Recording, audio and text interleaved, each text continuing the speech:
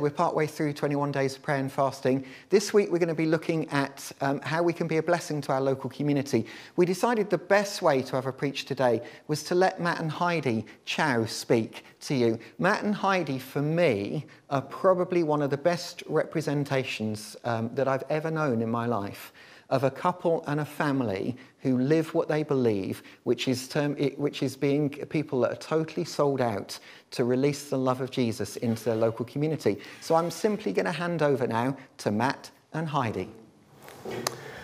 Thanks, okay. Ian. Okay. Um, yeah, so good morning, everyone. Um, so today we're going to be carrying on with our conversation about vision as a church. Um, we're in the last stretch of the 21 days of prayer and fast, and I really hope you've had a, a chance to take a step back and to really tune in to what God is speaking into your life and what He's speaking into the life of our church.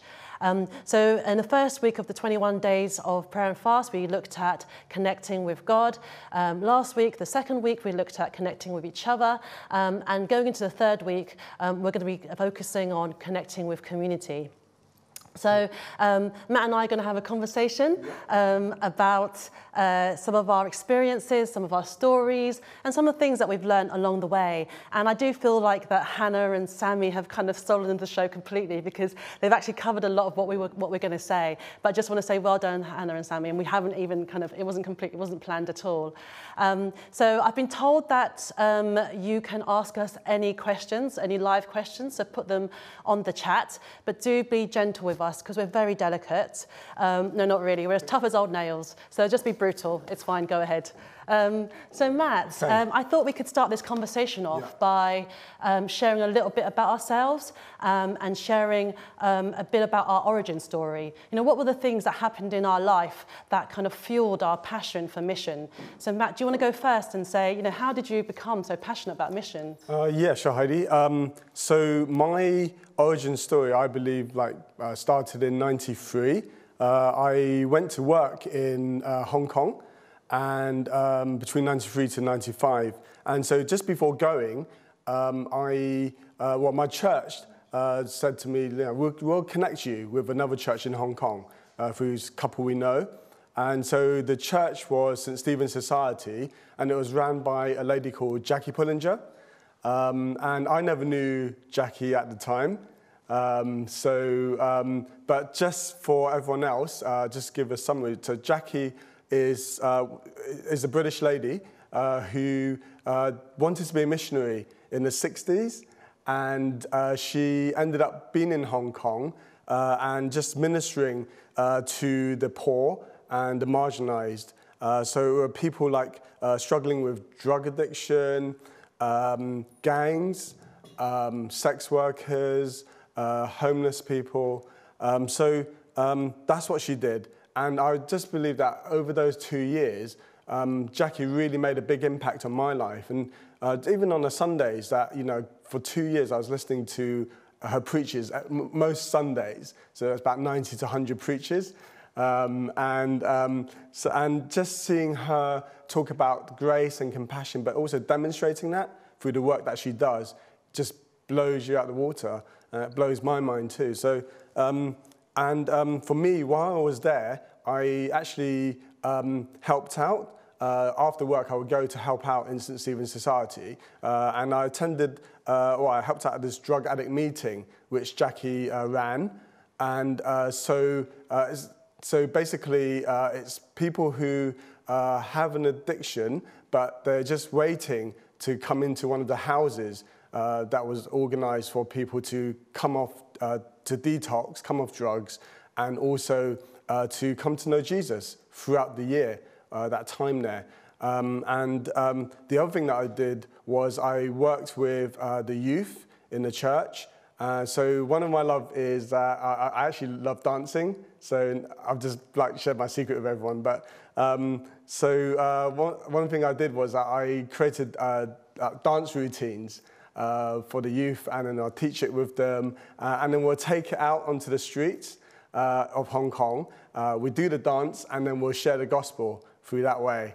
So we're going to get to see any of these dances? Uh, I am not sure. If we have time, I might do that now. Uh, but no. So, um, yeah, and um, so for me, I think um, uh, so just before leaving Hong Kong, three months before, um, I actually uh, joined uh, Jackie's first uh, missionary training program called a Help Mobile. And 120 uh, people uh, from around the world got together. And what Jackie did was she taught us in the morning for three months um, just what it means to be on mission. Um, and also in the afternoon and evenings, we'll go out and do the work that the church does. Mm. Um, and so just before coming back as well, um, Jackie said to us that we need to look for a lifetime goal, a lifetime calling. And so I, I did. I, I spent uh, three hours. I went to an island in Hong Kong and I spent three hours um, just uh, praying, uh, asking God and listening, uh, and uh, even drawing a picture of what I saw in front of me. Uh, and then suddenly I heard well, I saw this picture um, or vision that I was standing in front of a pulpit and um, I was uh, sharing to pe- so a group of people came, they sat down and listened to what I was saying, and then I sent them all away out to, through another door. And then they, another group of people came in, and that vision repeated itself like three times. And then I heard a voice, uh, I heard God saying, Feed my sheep. Um, and um, so uh, with that, I um, ended up um, like I, I, think like yeah. So uh, so just before coming back um, as well to the UK, I heard God saying, whatever job you're going to do uh, back in the UK will be your last job, your last secular job. Uh, so from 95 to 2000, I worked uh, five years, and then I heard God saying, "This is it. This is the time to go." Um, and so, you know, 20 years down the line, uh, plus, yeah, um, I've actually, you know, here I am. Um, and I think that when I look back at the picture of the pulpit, um, you know, I, I, I, believe that God's, um, even for the first seven years, I, I, kind of thought that God saying that, you know, I initially thought that it was like, um, I'm going to be, uh, you know, maybe a pastor or something like that. And I did. I tried uh, like seven years. I worked in youth and I worked in this, being an associate pastor. But afterwards, I, um, I look back now and, I, and I, God spoke to me really clearly and just said that the pulpit actually could be that God's given me the authority uh, to speak, uh, speak out my passion uh, for the people who are lost, and also my uh, love for the people in my community. Um, and that's how I feel, and that's and that's where I am today. And I just thank uh, Ian and Chris uh, for giving me the opportunity over the you know the six years I've been here so far. So, mm. yeah. so yeah. So Heidi, I know I shared a lot about Jackie and her impact on me. I also know that Jackie played a big part in your life too. Would you like to share? Yeah, so yeah, my story starts probably a little bit earlier. And, and when I was a child, um, I used to see images of poverty on television, like on the news or documentaries, and it would really affect me. And, um, and I, wasn't even, I wasn't even a Christian back then. I became a Christian when I was 16. Um, and after I became a Christian, I read 2 mm-hmm. books um, which were to influence the rest of my life. Um, that first book was Jackie Pullinger's uh, Chasing the Dragon. Um, and the second book was Rich Christians in an Age of Hunger by a guy called Ron Sider. Mm. And what um, both these books had in common was that both these books were about God's heart for the poor and the marginalized and the oppressed. Um, and I realized that after reading these two books, that the reason why my heart was so stirred up to that point in my life around these issues was because these are the issues that stirs God's heart. You know, God's mm. my maker. So it kind of made so much sense to me and made me actually love and worship God even more. Um, so in, the, in my gap year before university, um, I decided to do a proper fangirl thing. And actually, I went to Hong Kong to look for Jackie Pullinger. So I spent my gap year in Hong Kong. Um, I worshipped in her church. And I eventually uh, started working in one of her drug rehabilitation homes for women who were coming off heroin. Um, mm. So we would pray for the women to come off heroin, pray for them in tongues, um, and then we would um, share life with them and live with them to mm. help mm. disciple them into a new lifestyle. And, and being in her church, you know, was really... Um, was, was everything that I had read about in the book and more, you know, and it was such an exciting time because um, they would preach about um, Isaiah 61 because actually it was their church's vision and mandate just as it is Restore's yeah, uh, right, vision yeah. and, you yeah. know, this is, and, and, Isaiah 61 is where Restore gets mm. its name from.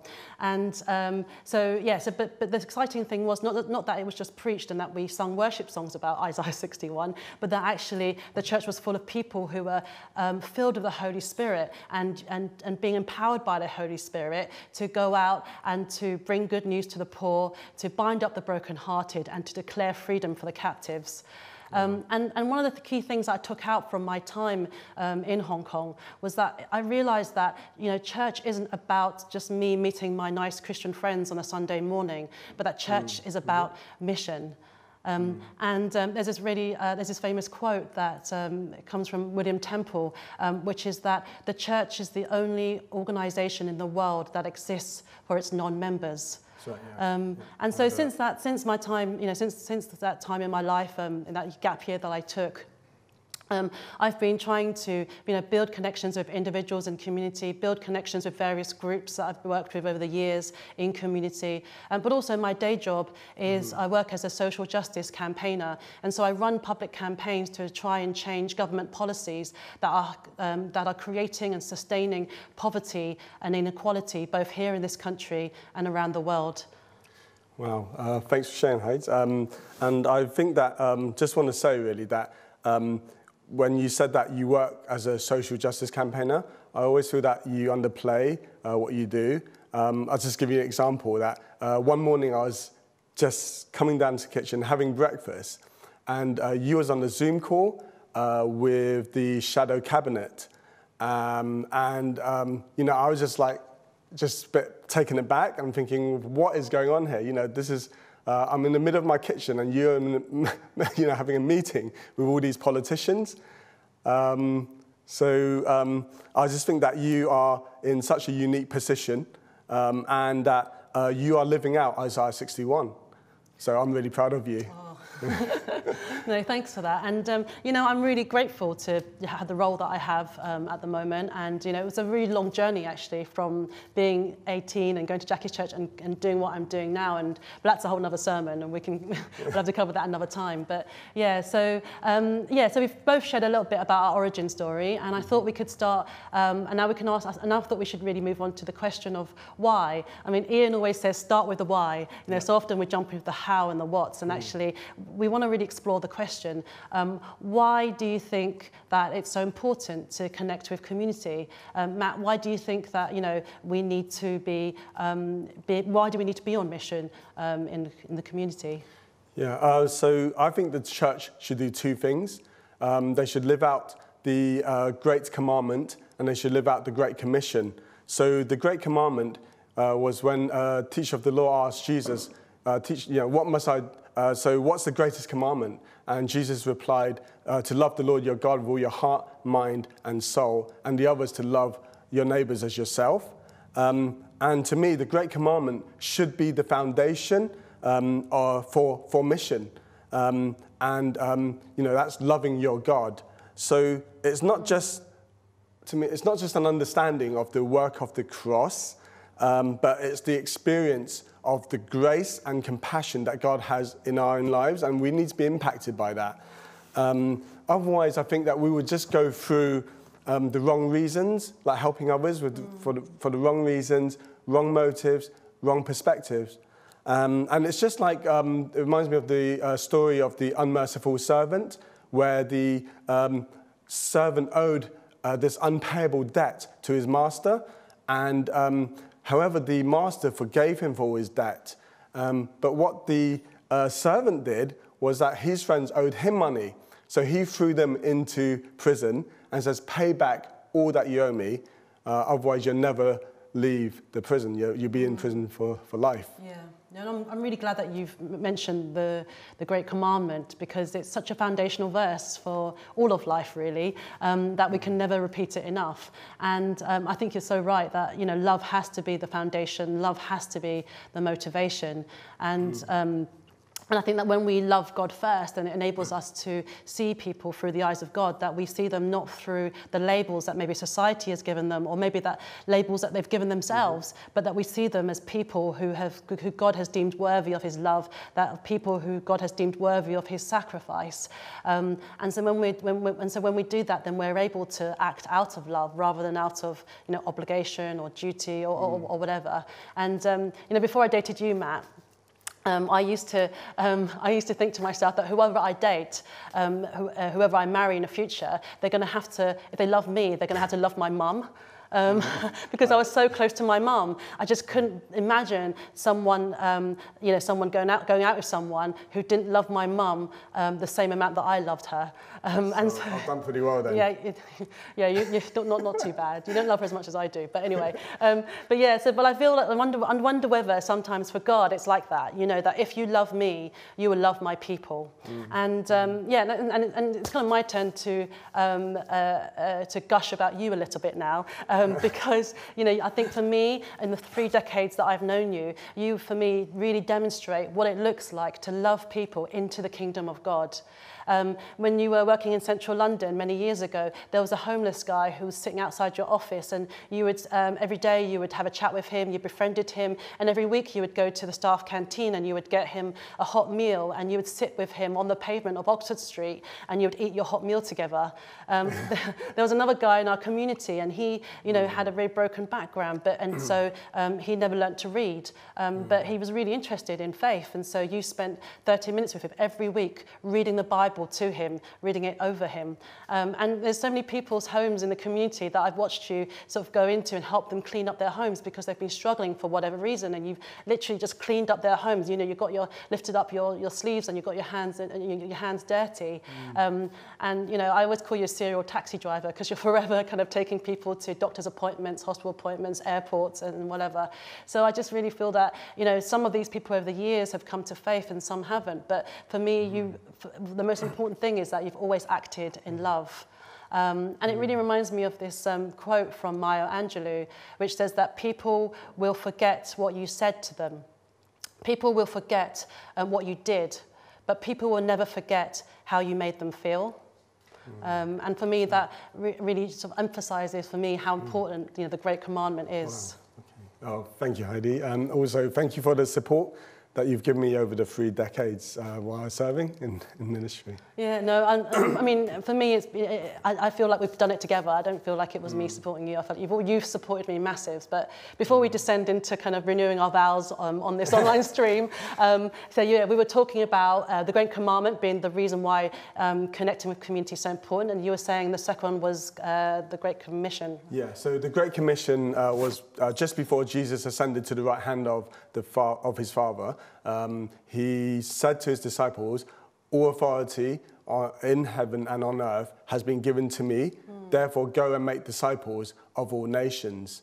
And for me, that, um, you know, uh, the Great Commission, simply putting it, is that we do it because Jesus told us to. Um, and when you look at, uh, when you hear Jesus saying, All authority um, in heaven and on earth um, has been given to me, that has such a weight to it um, that you know it's, it's the authority above all authorities, above heaven, mm. above mm. earth. Um, so you know it's it was also Jesus' last instruction to us, something that obviously was a very important thing to tell us before he left. Um, so for me, we are all Jesus' disciples, and we are all uh, Jesus' ambassadors uh, mm. for the gospel. Yeah, no, you're right. I think the Great Commission for me uh, reminds me that God is a sending God. You know, He mm. sends us out, but He sent Jesus to us first. And, you know, in the last church that we were at before we came to Restore, um, that church had a real vision around church planting. You know, church planting was such a core part of who that church was.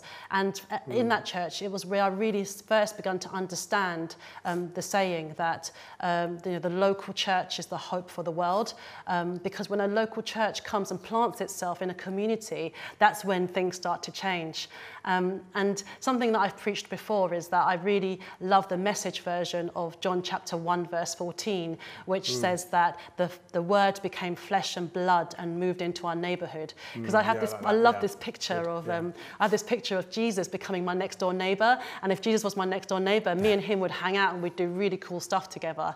Um, but actually, Jesus has done more than move in next door to me. Actually, Jesus has moved into my life. Um, and so that means that Jesus um, has moved not just into the neighborhood, he's actually moved into the local sports club, he's moved into my workplace, he's moved into our streets, he's moved into our into our local parks um, because wherever we are, we carry Jesus with us into whatever space that we go into. Um, and so we should be expecting cool things to happen, mm, yeah. you know, in all these different places. Um, and so, yeah, so I feel like each of us, therefore, have a mission and mm-hmm. each of us, yeah. therefore, is a missionary. Mm-hmm. Right. So, um, so yeah, so we've covered a bit about the why. Um, mm-hmm. So yeah, let's move on to the how now. Um, and I, I, thought we could just maybe explore some of the practical things um, that you've done um, to connect with community. Yeah, okay. Uh, so I think the best place to build friendships with the people in, in our community is to start off with where you're at. Um, so um, the people closest to us geographically is our neighbours. Um, so uh, just a couple of uh, things that I do that I hope is helpful to all of us um, is uh, I would begin with starting with prayer. Uh, and then I would uh, begin with start, uh, looking at your interests and your passions. So with prayer, what I do is that I use, I actually have a mind map. Um, so on a blank piece of paper, I would draw out a circle, and it, on, on this paper would be all the connections I have with the people in my community. So center, and then to maybe one of them would be my neighbors, mm. uh, and then another one could be uh, my uh, the school, uh, the school playground, um, and another one could be at work. Um, so, um, so just as an example, with my neighbours, I would draw out from there. Uh, on my left, I know is uh, Carol, and she has a boyfriend called John. And to my right is Jeanette, who has two children. I'll write down their names. Uh, and then as you draw the, out that picture, you will see how much connection you have like with the people in your community. And so what I do with it every day is I just look at it. I don't have to pray for every one of them, uh, but what I do is I look at it and I ask, I let God lead me into who to pray for specifically. Um, and then the second thing that I do with uh, pr- praying is uh, just praying in tongues and um, listening to the Holy Spirit. So, um, so uh, when I pray in tongues, uh, I gain like discernment. Um, and um, so, yeah, praying in tongues. You also, uh, you know, uh, what we do in the physical, there's also the spiritual realm. Um, so praying in tongues would just heighten my sensitivity to the spiritual realm. Um, and also, you know, you can pray in tongues when you are working or you're just going for a walk. Um, so even if you think it's like an ordinary day, um, I, you know, uh, just as you pray, things happen. So just an example, uh, as I was walking down my neighborhood, my street, and praying, um, uh, I passed uh, one of my neighbor's house called Pat, and uh, Pat wasn't there, but a lady came out of her side garden, and she, I asked her, I said, well, how's Pat? What's she doing? Um, and she told me that Pat went into a care home. so I, however, from, from that connection with Pat, I made a new connection with this person who actually found out she just lives quite a few doors down to where I live, a new neighbor. Um, so um, that's, that's what I do uh, praying. Um, the other thing that I do is what, I'm, what I suggest is to uh, find out what your interests and your, what your passions are. Um, for me, you know, you got to do something that you love, you love doing, because at the end of the day, it's about community, it's about uh, genuine connections with people. And I think having that interest with something just connects us together. Um, so I would look at, um, you know, maybe perhaps joining a, uh, an interest group, um, whether it's a church or uh, that's run by our church, or uh, whether it's a community-based group. Um, so uh, one of the things that I have a passion for is connecting with uh, families uh, in our community. reason being because you know we have our own family, and we know sometimes how hard that can be um, and we have something in common. Um, so, uh, so I knew that our church, before COVID, before the lockdown, we ran a, a parent toddler group called Noah's Ark. So I would volunteer myself, uh, you know, one, one, once a week, uh, one hour uh, for that time. And uh, all I do is just go in there, uh, have tea or coffee, and talk to the parents there, the carers, the grandparents, um, and um, you know, connections build. And so um, I, one day, just a, a, great story here, one day um, uh, a lady called, uh, one of the mums called Charlene, and I got permission uh, from Charlene to share her story. And I just want to say hi to Charlene if you're watching. Um, so uh, yeah, so one day this, uh, this um, mum called Charlene came over and, and, asked, and said to me, Matt, um, I want to get baptized. How do I, how do I get baptized? Um, and, I was, and I was taken aback, you know, a, a bit aback by it because um, basically, I asked her, like, uh, so why do you want to get baptized? Do you know who this Jesus is? And she said, no.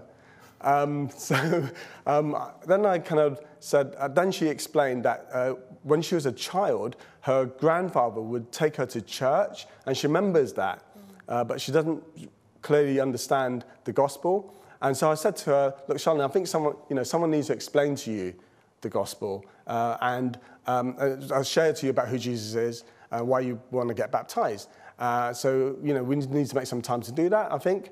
Um, but that conversation ended, and, and it never, we never actually met up. For, actually, it took a year later, uh, partly because I think, uh, well, Charlene uh, wasn't regular, uh, he came to Noah's Ark, but uh, also uh, we might have missed each other when sometimes I wasn't there. Um, so anyway, a year later, at Trinity Church, we, we were having a harvest festival, and Charlene came with her whole family, and she um, came up to me and says, Matt, I want to get baptized. How do I get baptized? And um, I was just like, it felt like deja vu or Groundhog Day. Um, but uh, I, I, ended up saying the same thing to her that you need someone to tell you about Jesus. And the conversation ended again. However, the next day, God prompted me and said, Matt, you need to tell Charlene about who I am and lead her to me. Um, I knew that was like a heavy prompting from God. So I immediately called Charlene, made the appointment within two days to see her at Trinity Church again. Uh, on that day, uh, I went and grabbed a female member of staff, um, and I said to her, um, you know, uh, I'm going to share gospel with someone. I'm going to lead her, to, uh, lead this person to Christ. Will you come with me? And that person was a bit taken aback by it, uh, but um, you know, thinking, I think in her mind, she's thinking, how, how are you so sure that she's going to come to know Jesus, accept Jesus into her life? Well, I, I don't know, I just did, I just, just kind of uh, felt it and, and uh, heard it. And so, uh, with that in mind, I just went in there, shared the gospel with Charlene, uh, and then she received Jesus. Um, so, uh, and it's just, uh, just, it's just amazing that, you know, when, when you look at it, I just from a passion about wanting to know families mm. and spending one hour a week and connecting with people in my community, uh, that's what came out of it. Um, so uh, the other things that I could recommend about joining a group is if you can't find one, then perhaps uh, look for, uh, create your own group. So uh, for me, I love uh, badminton. And um, I, what I did was I tried to gauge with, I tried to ask people uh, with my community connections to say, would you want to play badminton? Would you be interested? And I need to get roughly about four, a minimum of four. And we found the four, you know, up to four of us. And I uh, started a group. And later on, as it grew, I, I then asked people in uh, our church uh, whether they would be interested so that it gives opportunity for people in our church to connect with people in our community. Uh, so then we grew to 10 people in our badminton group. Um, and uh, so that was just before lockdown. Um, and uh, we also would have lunch together too. Um, but during lockdown, we kept in touch through Zoom. And then we met like in the park uh, for lunch, uh, up to six of us. Uh, and then we, uh, yeah, now we're playing, bam- we just started playing badminton last week. No. Yeah, yeah, So. No, I really love your um, examples there, and I really love the way that you've used your interests and your passions to create community um, between people and you know and with yourself. And and I think it really shows what happens when you take what's already in your hands and you offer it mm. to God. And for you, it was badminton, and for fam- families. Um, but for other people, they might have other passions and interests, and it could, you know it doesn't matter what it is in a sense. It's the it, the thing is just the the hook or the gel that kind of brings people together, and through that you can um, create uh, friendships and, and relationships. And, mm, um, yeah. you know, for me, um, that's what we do at Grow Community Garden. I know the vid- my video is out this morning. Um, and, um, you know, we bring people with a passion for growing vegetables together. Um, and through doing that, we've kind of created some really great friendships out of that and, and, and, you know, and connections with people in the community. Um, but I also get that, you know, not everyone can, you know, join a group right now and maybe you know, right, yeah. because of, you know, because of where they are in the life stage, because of, um, uh, demands on their time, and, and even you know we're anticipating potentially more COVID restrictions. Yeah. Um, but I think what I kind of take from your stories um, and what you've said is, is, is the importance of having that kind of mission mindset, um, and you know the importance of being you know praying praying into these praying into praying over these things, um, and being led by the Holy Spirit um, to to do whatever the Holy Spirit's calling you to do wherever you're already at. Mm-hmm. Um, but I do want to kind of maybe just finish off by circling back to Isaiah 61 mm-hmm. because I want yeah. to suggest that sometimes we do have to go beyond our immediate circles and maybe go beyond even our own comfort zone um, in order to reach out to people who are um, brokenhearted, to reach out to people who are struggling with finances or struggling with mental health issues um, or struggling with addictions, people who are vulnerable, people who are sorry, isolated or lonely um, or, you know, and, and people who are, um, you know, in, in, in some kind of need. And you know, I want to be really honest and say, yeah. you know, we've both had um, good experiences and bad mm-hmm. experiences, um, and um, you know, and it does cost. You know, for us, it's cost us time, um, energy, um, mm-hmm. emotion, um, and sometimes it's cost us, you know, our resources as well. Um, yeah. But there's a, there's a verse in um, Isaiah 58, 10, which I think really speaks into this for me, because I feel like even though it can be hard sometimes connecting with community, um, I feel like it's something we shouldn't shy away from. And chapter, uh, Isaiah chapter 58 for me is a, one of my, another one of my favorite uh, passages in the, in the Bible. And in particular, verse 10 um, mm. says that um, um, for those who, uh, if you spend yourself um, on behalf of the hungry. Um, and um, uh, if you spend yourself on behalf of the hungry, um, and if you satisfy the needs of the oppressed, then your light will rise in the darkness, and your night will become like the noonday. And for me, this says to me that if we spend ourselves, um, and spending will cost, you know, that if we spend ourselves on behalf of those who are in need, then actually this, um, we are able to bring God's light into situations of darkness. We are able to bring about the justice that God longs to see, um, and that we capture yeah. some of the heart and compassion that God has for people um, who are brokenhearted, who are lost, and who are marginalized and oppressed.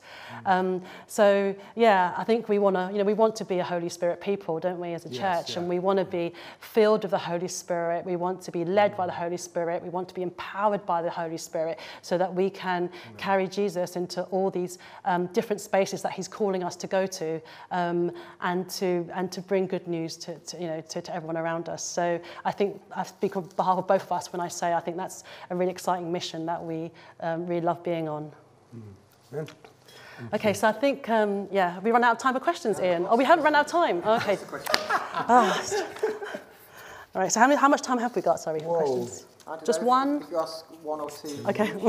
see how it goes. Three questions. Okay. What? Uh, oh my goodness, this is a really great question. All right, I'm going to ask the good oh, wow. one first. All right, okay, do you want to go first nice. or do you want me to go first? Uh, I could go first if you want. Uh, you, you, can go. Either okay, way, Matt, you're going to love this one. Can you demonstrate some dance moves, Matt? Hold on. Uh, I could do one, uh, maybe a pirouette. I don't know. Uh, I, I, can't remember. No, I haven't done this for ages. I can't. I haven't done this for ages. I was like, oh, I don't know. Uh, another one would be, I don't know. Uh, how about this one? How about this? Is that all right? Okay, that's better. Okay. Matt, that's amazing. Okay, thank you. Uh, thanks whoever wrote that, but yeah. Um, we know who wrote that one, don't we, Ian? Um, okay, so here's a good one. Uh, how do you manage to do all that you do and care for your family and meet the demands of having an autistic child? Wow. Wow. Yeah, that's a really so... good question. Um, you know what? The lockdown has actually really helped me um, uh, uh, because I'm actually not commuting anymore and I'm also not traveling for work. Um, but I do feel like uh, a big factor in being able to do all the things that I can do is actually you, Matt. Um, I feel like you're mm. my enabler.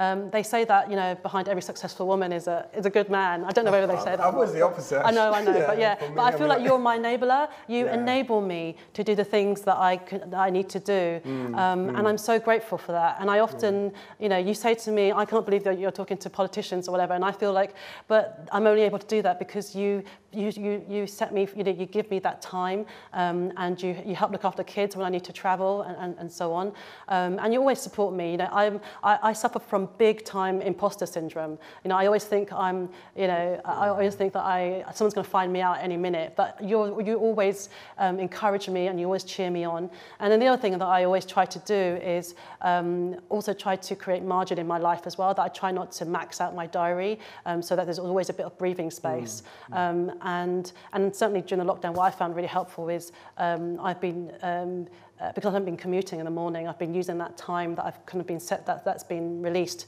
to actually spend time in silence and stillness before God. And that really helps me in terms of getting my priorities right, in terms of um, um, reminding myself who I am in God. And that's so important for me, um, uh, yeah, to help me cope with all that uh, I have to contend with. Okay, um, Matt, this is a really good question. Um, how does being of Chinese origin been a positive or a negative thing for reaching out to the local community in Loughton?